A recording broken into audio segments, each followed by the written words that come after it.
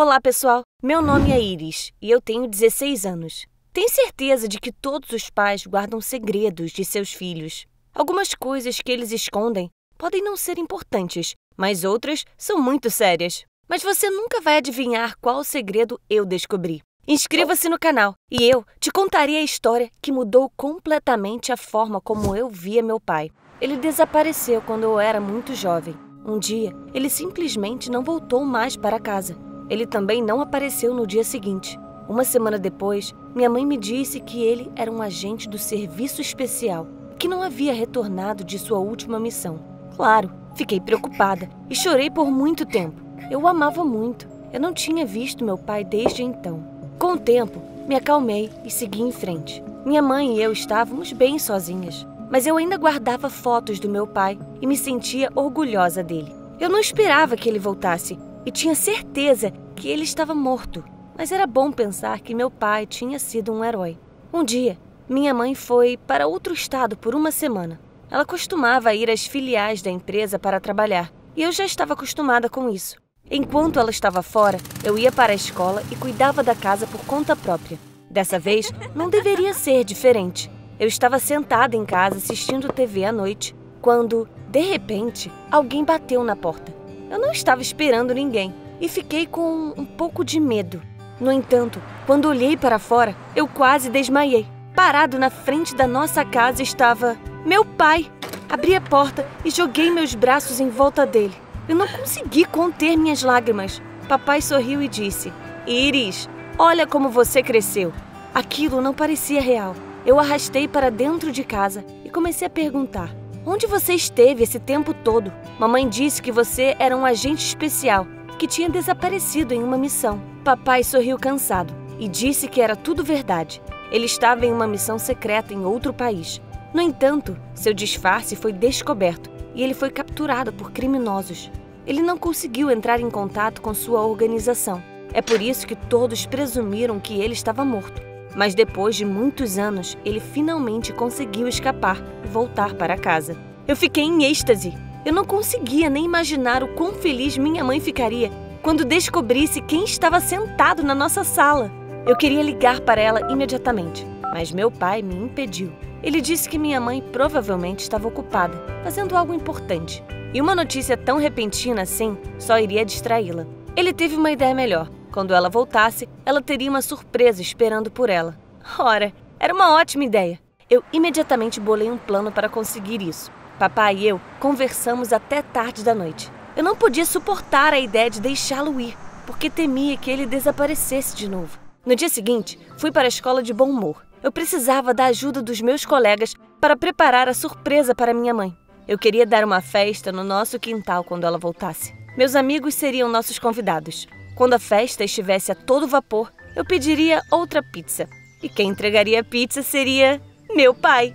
Eu queria tanto ver a reação da minha mãe. Eu até pedi ao meu colega Tom para filmar secretamente com a câmera dele. Todos concordaram com o meu plano e disseram que iriam me ajudar.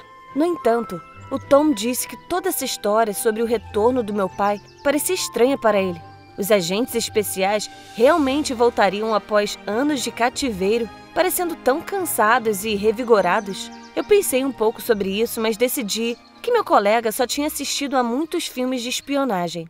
Corri para casa depois da escola. Papai estava fazendo jantar. Fiquei tão feliz em vê-lo que nem percebi como nossa casa havia mudado, a princípio. Para começar, a TV estava faltando. Mais do que isso, não consegui encontrar o notebook da minha mãe. Alguns outros itens caros também tinham desaparecido. Mas onde eles foram parar? Eu imediatamente perguntei ao meu pai sobre isso. Ele respondeu calmamente que houve problemas com a eletricidade e que todos os aparelhos foram danificados. Papai os mandou para o conserto. Não se preocupe, Iris. Eles serão consertados e trazidos de volta, disse ele. Isso me fez pensar. Era uma coincidência hum. muito estranha, você não acha? Além disso, me lembrei do que o Tom havia dito sobre meu pai. Ele realmente não parecia um homem que havia passado vários anos em um cativeiro. Talvez ele não fosse um agente do serviço secreto. Mas quem era ele então? Eu decidi descobrir. Eu conhecia o lugar no quarto da minha mãe, onde ela guardava uma caixa com fotos e documentos antigos. Depois do jantar, peguei a caixa e me tranquei no meu quarto. Eu sabia que encontraria todas as respostas nela. devia haver uma razão para minha mãe esconder a caixa de mim. Comecei a revirar a caixa e encontrei fotos do meu pai usando uniforme. Nelas, ele estava em um escritório que parecia uma sede do serviço secreto. Também encontrei documentos sobre os prêmios que meu pai recebeu por operações especiais. Para ser sincera, eu não esperava ver tudo isso. Será que ele estava mesmo falando a verdade? Naquele momento, eu me senti envergonhada por ter duvidado dele. Meu pai era realmente um agente especial, trabalhando para o governo. Decidi guardar a caixa e não entrar mais em pânico. No entanto, poucos dias depois, algo aconteceu novamente. Cheguei em casa da escola mais cedo do que de costume e meu pai não estava na sala de estar. Entrei no meu quarto e não consegui acreditar no que estava vendo. Papai estava mexendo nas minhas coisas e procurando por algo. Ele não notou que eu estava ali e eu o vi tirando dinheiro da minha calça jeans e colocando-o no bolso. O que você está fazendo? Eu não conseguia mais olhar para ele. Papai parou e se virou. Ele parecia muito assustado, porque sabia que eu o peguei fazendo algo errado. Então, ele se sentou na cama e suspirou profundamente. Sinto muito, Iris. Eu deveria ter te contado tudo imediatamente, ele disse com tristeza. Do que ele estava falando? Eu fiquei inquieta. E então, papai disse que era um segredo que ninguém deveria saber. Acontece que ele estava sendo caçado pelas pessoas que o mantiveram em cativeiro. Eles o encontraram e agora sabiam onde minha mãe e eu morávamos. Corríamos perigo. Mas essas pessoas podiam ser subornadas e, para isso, papai precisava de dinheiro. Ele queria enfrentá-los e recomeçar sua vida de novo. Eu devo ter feito uma cara de dúvida, porque papai pegou minha mão e me pediu para acreditar nele. Quando você era pequena, éramos melhores amigos, lembra? E prometemos nunca mentir um para o outro. Ele disse, me olhando nos olhos. Claro, eu disse que acreditava nele. Eu estava um pouco assustada. No entanto, pensei que ele poderia nos proteger e estava fazendo tudo o que podia para isso. Eu só precisava confiar nele. Então, me acalmei e decidi começar a preparar a surpresa para minha mãe, especialmente porque ela voltaria no dia seguinte. O grande dia finalmente chegou. Estava tudo pronto. Meus colegas de classe foram à minha casa e demos uma festa no quintal. Papai estava esperando minha ligação em outro lugar ali por perto. Finalmente, um carro parou na frente da nossa casa e minha mãe saiu. Ela foi direto para o quintal e ficou muito surpresa. Eu disse a ela que tinha dado a festa para recebê-la de volta. Mamãe me abraçou e me agradeceu. Estávamos nos divertindo. Mamãe se sentia confortável entre os meus amigos e estava super relaxada. Percebi que era hora da surpresa principal. Então, eu me afastei e silenciosamente liguei para o meu pai. Está tudo pronto, pode vir, eu disse a ele. Papai disse que estaria lá em breve e eu estava ansiosa pelo show que ia ser. Tom estava pronto para filmar a reação da minha mãe e eu disse a ela que logo chegaria mais pizza.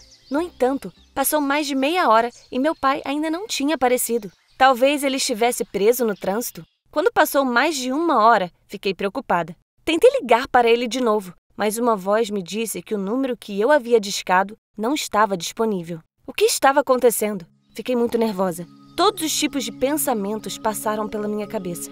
Talvez o papai tivesse sido pego por aqueles criminosos e estivesse sendo mantido em cativeiro mais uma vez. Depois de um tempo, eu senti que estava enlouquecendo de preocupação. Claro, minha mãe percebeu isso imediatamente. Ela me perguntou o que havia de errado e eu contei a ela tudo o que aconteceu: o retorno do meu pai, as coisas desaparecendo, a surpresa fracassada. Eu esperava que minha mãe ficasse feliz, mas depois de ouvir minha história, ela apenas pareceu apavorada. Ela imediatamente me pediu para acabar com a festa e correu para chamar a polícia. Eu não sabia o que estava acontecendo. Quando todos os meus amigos foram embora e minha mãe e eu estávamos esperando a chegada dos policiais, ela me contou a verdade sobre o meu pai. E o que eu ouvi me deixou perplexa. Ele realmente tinha sido um agente especial e até recebeu alguns prêmios, mas então o sucesso subiu à sua cabeça e ele mudou muito. Ele começou a gastar muito dinheiro com jogos de azar e se viciou em drogas. Depois disso, é claro, ele foi demitido do serviço especial, mas isso não o impediu de nada. Ele começou a vender tudo que havia de valor na casa para conseguir dinheiro para seus vícios. Quando ele começou a levantar a mão contra minha mãe, ela se divorciou e o expulsou de casa. Claro, ele não tinha desaparecido, mas minha mãe não queria me aborrecer. Então ela me disse que meu pai não havia retornado de uma missão especial. Quando a polícia chegou, minha mãe disse que seu ex-marido havia invadido nossa casa e roubado objetos de valor. Eles escolheram o depoimento dela e prometeram encontrar meu pai. Eu assisti a tudo e chorei baixinho. Fiquei muito triste porque meu pai mentiu para mim e se tornou uma pessoa horrível. Eu me lembrei de que antes de ele desaparecer, ele e minha mãe brigavam muito. Agora, tudo tinha finalmente se encaixado. Aparentemente, ele ficou sem dinheiro e decidiu se aproveitar da ausência da minha mãe e da minha inocência. Naquele momento, fiquei com raiva dele e de mim mesma. Vários dias se passaram. Papai nunca apareceu. Mamãe e eu voltamos a viver como antes e não tocamos mais no assunto.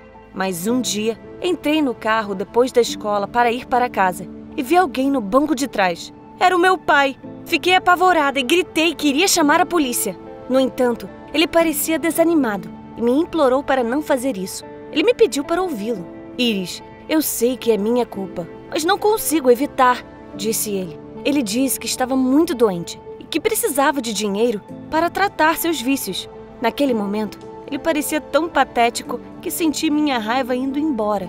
Meu pai estava pedindo minha ajuda. Eu estava sentada no carro e não sabia o que fazer. Entregá-lo à polícia? Mas ele não era um estranho. Ele era meu pai. Por outro lado, eu sabia que ele era um mentiroso e que não era confiável. Eu fiquei tão confusa. O que você faria no meu lugar? Escreva nos comentários. Afinal, eu realmente preciso do seu conselho agora.